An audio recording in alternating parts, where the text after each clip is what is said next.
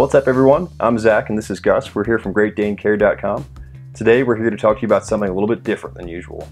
We had the chance to do some hands-on testing with the Fi Smart Collar and we wanted to share our results from this testing with you. Now the biggest reason that most people purchase smart collars is just simply the fear of losing their dog. They want the ability to track them using GPS in the event that they escape from the backyard while they're out or away and prevent any harm from occurring to them. Now before we jump into the full review, let's take a look at what the scenario could actually look like in the real world.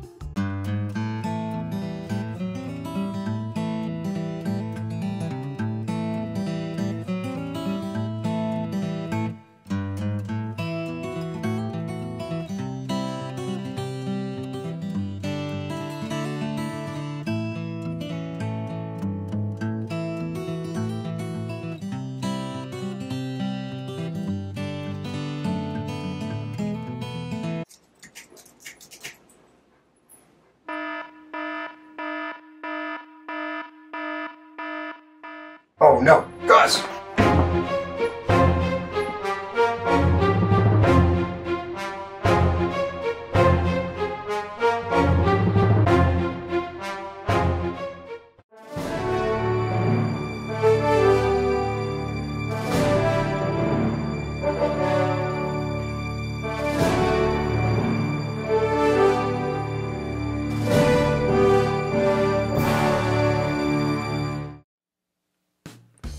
Now just to be clear, that was just a test. We're obviously just simulating what could potentially happen in the event that your pet is uh, lost or escapes from the home. In this scenario, Gus is being supervised, so I assure you that she was in no danger and nobody was harmed in the filming of that quick little montage.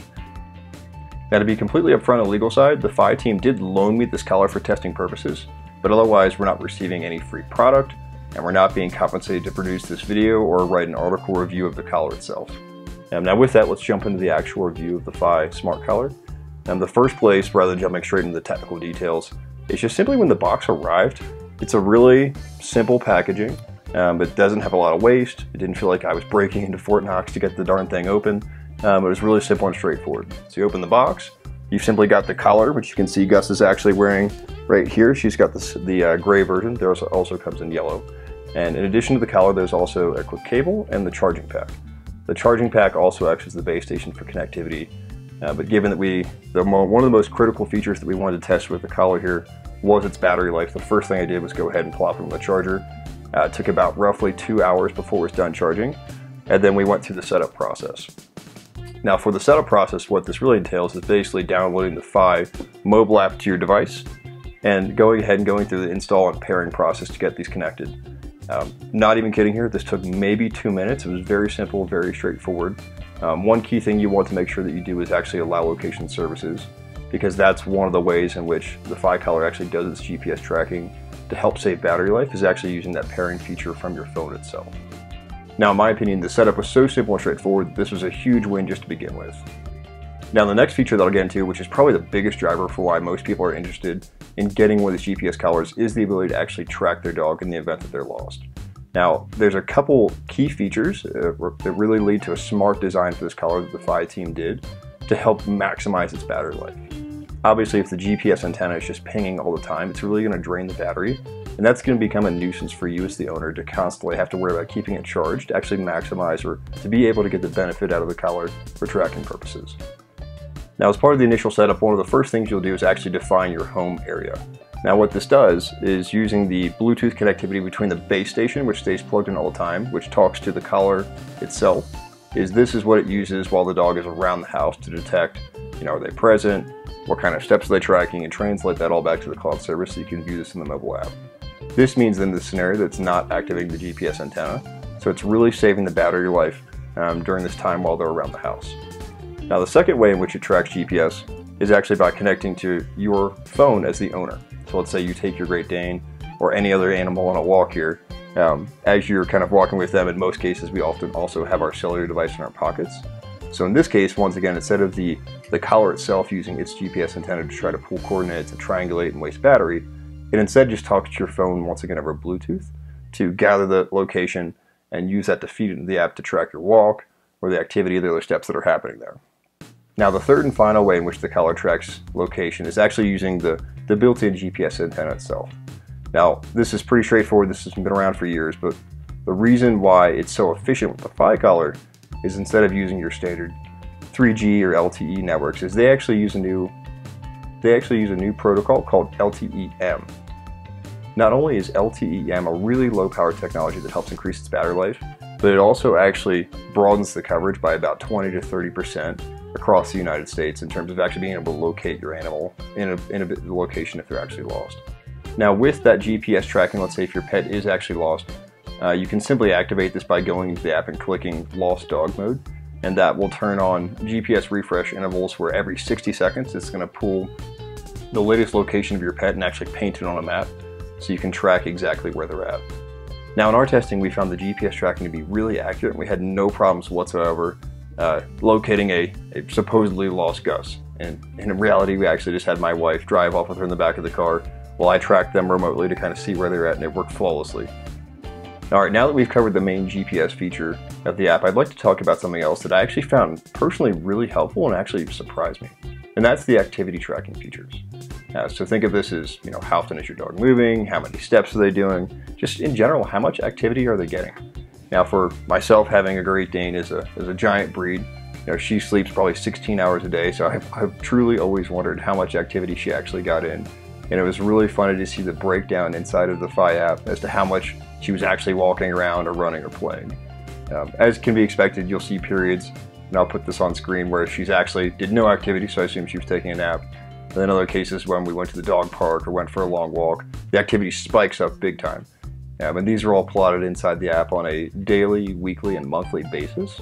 Um, so you can use this as just a key way to help kind of identify a baseline for on average how much activity do they get. Um, are they starting to get less activity or more activity? And as a dog ages, this could be one way you actually know to potentially maybe dial down their food intake a little bit. So as they become less active, they need a little bit less food to meet those energy requirements. Uh, it's really helpful for making sure that they don't get overweight and you know wear out their joints or hips or things like that. All right, now one thing that I'll point out that applies to both the activity tracking and the GPS tracking is that if you do want to take full advantage of both the historical nature of this activity tracking as well as of course the GPS tracking, you do need to sign up for the Fi monthly plan. Um, obviously it's less than ideal to have a monthly recurring cost associated with the you know, subscription plan to access this GPS data or the historical tracking data, but I think you can really look at this one of two ways. Um, one being the way that um, companies do this is they just sell you a one-time fee for a really expensive collar, which is maybe four or five hundred dollars, and you're done. Um, it's a big upfront cost, but there's nothing ongoing because the company is essentially built in the margin necessary to you know make it effective uh, for them to both manufacture and sell the colors. Um, the other approach, which you know Fi takes and other companies take as well, is to sell you a more reasonably priced collar, and you choose to continue that subscription on a monthly basis. So if it's working great for you, keep using it, and eventually, yeah, maybe you do approach that that all-in cost of you know four or five hundred dollars in a couple years. Um, or if you don't like it, then frankly, you can cancel a subscription and walk away and actually have saved yourself money. Um, so in many ways, it, it, puts the onus back on the company to ensure that they're providing a, you know, a good service that stays modern, stays up to date, stays, you know, on par or better in most cases than the competitors that are out there. Instead of you just simply having to buy a brand new collar um, for every version and just hoping that it's a little bit better than the last one. So the next phase I'd like to talk about is the actual battery life of the collar. Uh, to be frank, I've looked at collars in the past, and the, the biggest turnoff for me was always the, the lack of battery life. You know, it's always seemed like the best collars, they'd last for a couple days, you know, three days, four days, five days, maybe a week if something miraculous happens, you get really lucky. And to me, that always seemed like the inconvenience to the owner, which just made it seriously not worthwhile kind of deal with the tracking just because it's one extra thing in you know an already busy life that we have to keep up with just to make sure that it's always charged and always working. And then you couple it with the fact that if, if the battery does die that quickly, you know, if the dog's lost and takes you a bit of time to locate them, that GPS may actually drain the battery just in the process of tracking them.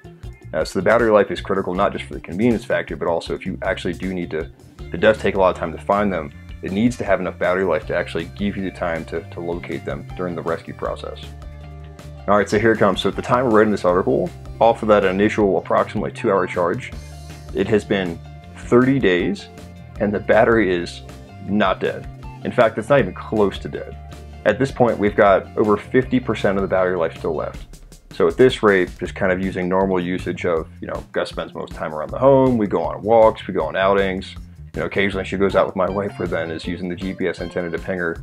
You know, we're looking at over two months of battery life here. This is this is incredible considering how small it is, and the initial charge time being pretty reasonable of a couple hours. Um, this to me kind of makes it like frankly a, a, worthwhile consideration. Like this is a doable thing to me as an owner to say, okay, if I can charge it for a few hours and it works for several months, and I get all these other benefits of things like activity tracking, GPS tracking, um, that's awesome. Really helps give it an edge in the battery life compared to the other competitors out there on the market. All right, the last aspect that I'll be reviewing of the collar here is just simply its appearance and build. Um, so the nice thing about the collar, if we take this off here, Miss Gus, is that it is really well built. Um, it's got your kind of expected nylon webbing that's incredibly strong. I mean, this is literally what people use to hold themselves up when they rappel off buildings or things of that nature. So really strong, really durable material.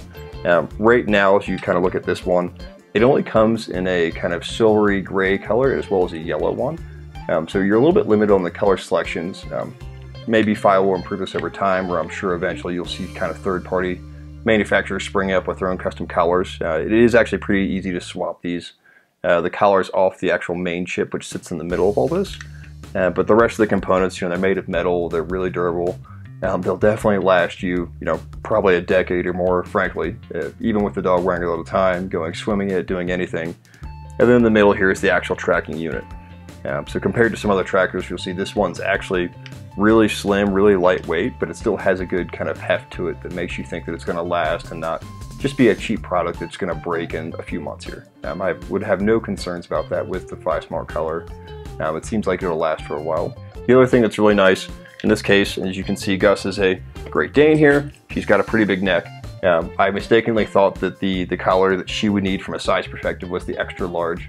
So the collar does come in four sizes. That's a small, medium, large, and extra large.